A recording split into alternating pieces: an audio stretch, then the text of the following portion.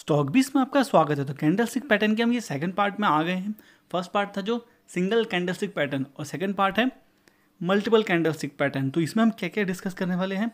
Bullish engulfing bearish engulfing morning star evening star और हमने जो फ़र्स्ट वीडियो है, उसमें क्या क्या डिस्कस किया हुआ है, आप ये देख सकते हैं। तो आपको डिस्क्रिप्शन में और आई बटन में मिल जाएगा। आप जाके उसको देख लीजिएगा।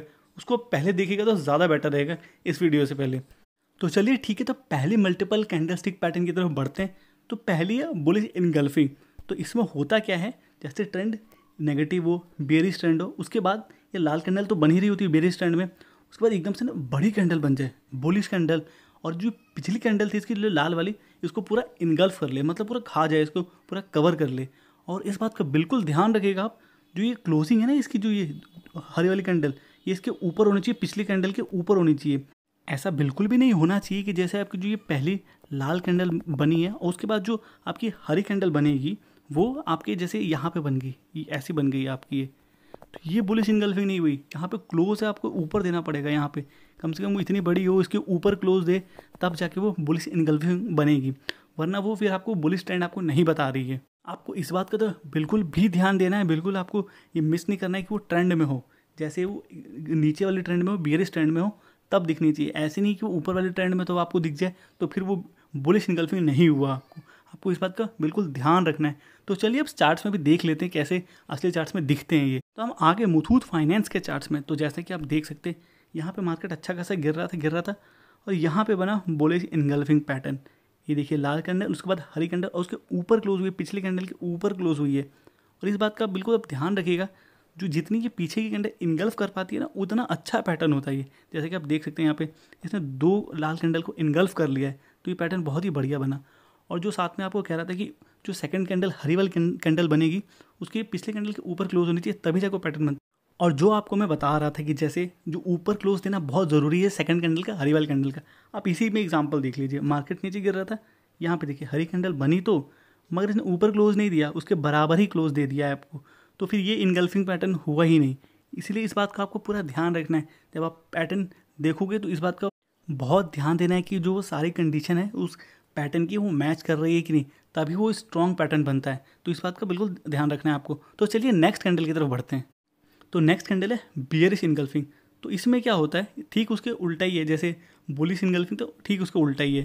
तो जैसे पहली ये बुलिश कैंडल बनी हरी वाली तो जो अगली कैंडल होगी लाल वाली ना, वो पहले हरी कैंडल के ऊपर खुलेगी, और उसके बाद सीधा नीचे गिरते गिरते जो पिछली वाली हरी कैंडल थी, उसके नीचे क्लोज देगी। तब जाके वो ये दोनों मिल के बनेंगे बियरिश इनगल्फिंग। और इसका ट्रेंड क्या होगा? जैसे कि पहली कैंडल हरी है तो ऑफकोर्स चढ़ते हुए मार्केट में आपको दिखनी चाहिए, जैसे मार्केट चढ़ रहा है, यहाँ पे आपको ये वाला पैटर्न दिखा। तब यहाँ से ट्रेंड रिवर्स होगा, तब यहाँ से मार्केट नीचे गिरने के चांसेस बहुत ज़्यादा स्ट्रॉन्ग हो जाएँगे। तो ये भी हम चार्ट्स में देख लेते हैं।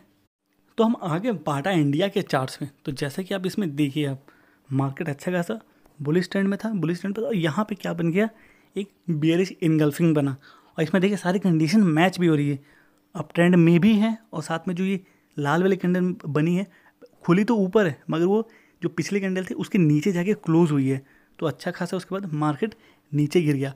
यहाँ पे देखिए, यहाँ पे इसने कोशिश किया कि मतलब मार्केट ऊपर जाए, मगर ये देखिए बोली सिंगल में बन नहीं पाए क्योंकि जो हरी वाली कैंडल है, उसके पिछले कैंडल के नीचे क्लोज दिए। तो ठीक है, उसके बाद फिर मार्केट नीचे गिर गया। इसलिए आपको देखना होता है कि वो पूरी कंडीशंस मैच कर रही है कि नहीं कर रही है।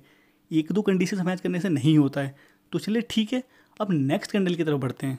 तो नेक्स्ट कैंडल स्टिक पैटर्न है मॉर्निंग स्टार तो मॉर्निंग स्टार तो और ज़्यादा ही स्ट्रॉन्ग रिवर्सल बता दी। क्यों? क्योंकि तीन कैंडल से बना होता है। आपको और ज़्यादा कन्फर्मेशन मिल जाता है। मॉर्निंग स्टार नाम से आपको पता चल रहा है कि मतलब कुछ अब अप ट्रेंड में जाने वाला है ये। तो जैसे कि आप देख लेते हैं, इसमें होता क्या है? तो ये बनता कहाँ पे अगर जैसे मैंने आपको बताया कि ये अब कहने का मतलब है कि अभी ऊपर जाने को तैयार है तो ये नीचे वाले ट्रेंड में तभी तो ऊपर जाएगा ये। तो समझ लीजिए बी ट्रेंड में था, यहाँ पे ये रेड कैंडल तो बी में बनती है, यहाँ पे भी बनी। मगर नेक्स्ट कैंडल यहाँ से थोड़ा गैप डाउन करके नीचे तो खुली, मगर वो ज़्यादा मूवमेंट नहीं देगी, और वहीं पे वहीं पे जहाँ पे खुलती, उसी के आसपास क्लोज होगी। यहाँ पे कलर ग्रीन है, मगर कलर का कोई मतलब नहीं है रेड भी हो सकता है, चलता है ये। मगर हाँ पहली कैंडल रेड होनी चाहिए, और जो बुलिस कैंडल बनेगी तीसरी कैंडल वो हमेशा ग्रीन होनी चाहिए। ये किसी भी कलर की हो सकती है, चलता है। तो जो इसके बाद ये दूसरी कैंडल बनेगी, वो थोड़ा सा गैप अप होकर बनेगी।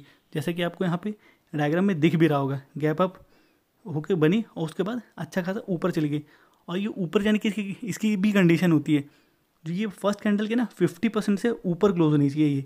जो क्लोज हुई ना फिफ्टी परसेंट से एटलीस्ट फिफ्टी परसेंट से ऊपर क्लोज होनी चाहिए। तो यहाँ तो आप देख सकते काफ़ी ऊपर क्लोज हुई है। तो आपको तीनों कंडीशन देखनी है कि पहली कैंडल की क्या कंडीशन है? लाल होना चाहिए डाउन ट्रेंड में होनी चाहिए। उसके बाद जो दूसरी कैंडल बनी है, थोड़ा सा गैप डाउन होकर खुली होनी चाहिए और वहीं पे आसपास वो बंद होनी चाहिए। ज़्यादा मूवमेंट नहीं होना चाहिए उसमें। और जो तीसरी कैंडल है गैप अप में खुलनी चाहिए और ऊपर तक जानी चाहिए और इसके फिफ्टी परसेंट के ऊपर बंद होनी चाहिए। तो ये कंडीशन आपको याद रखनी है। तो उसको चार्ट पे भी देख लेते हैं। तो हम आ गए आईटीआई के चार्ट पे। तो जैसा कि आप देख सकते हैं, पहली कंडीशन डाउन ट्रेंड पे, उसके बाद देखिए लाल कैंडल बनी और जो दूसरी कैंडल बनी है, वो गैप डाउन होकर नीचे बनी है और ज़्यादा मूवमेंट नहीं दिया उसने। छोटी सी कैंडल बनी है। उसके बाद जो तीसरी कैंडल है गैप अप होकर खुली है और कितने ऊपर जाके बंद हुई है। इसके फिफ्टी परसेंट से ऊपर ही बंद हुई है।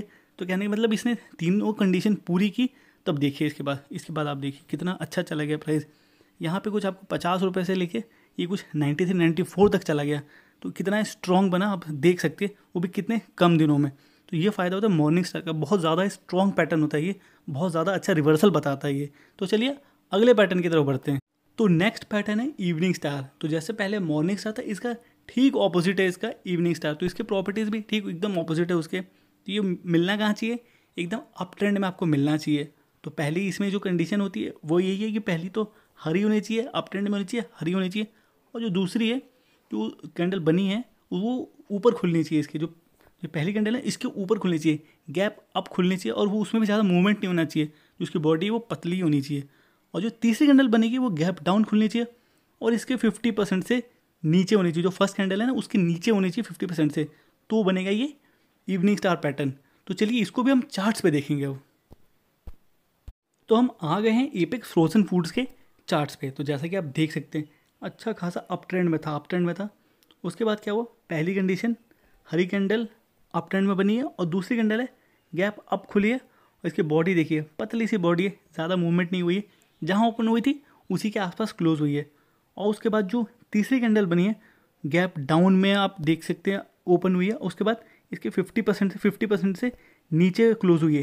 तो इसमें सारे कंडीशंस मैच हुए तो उसके बाद आप देखिए, सीधा धड़ाम से नीचे किस प्राइस थ्री सिक्सटी के आसपास आपको ये दिखा उसके बाद गिरते गिरते कुछ थ्री टेन के आसपास आपको ये लेके चला गया। तो कह सकते इतने कम ही टाइम में आपको अच्छा खासा गिरावट देखने को मिलेगा। क्यों? क्योंकि आपको बेस इनगल्फिंग मिला। तो देखिए, कितना स्ट्रॉन्ग पैटर्न होता है। ये तो बहुत ज़्यादा स्ट्रॉन्ग होते दोनों चाहे बुलिस इनगल्फिंग चाहे बियर्स इनगल्फिंग ये आपको आ जाए तो समझ जाइए कि ज़्यादा चांसेस है कि अब यहाँ से ट्रेंड चेंज होगा ही होगा। तो चलिए, ठीक है, अगर आपको कुछ भी वीडियो में अच्छा लगा हो या आप कुछ को नया सीखने को मिला तो वीडियो को लाइक करना बिल्कुल मत भूलिएगा और चैनल को सब्सक्राइब कर दीजिएगा और नोटिफिकेशन में ऑल क्लिक कर दीजिएगा।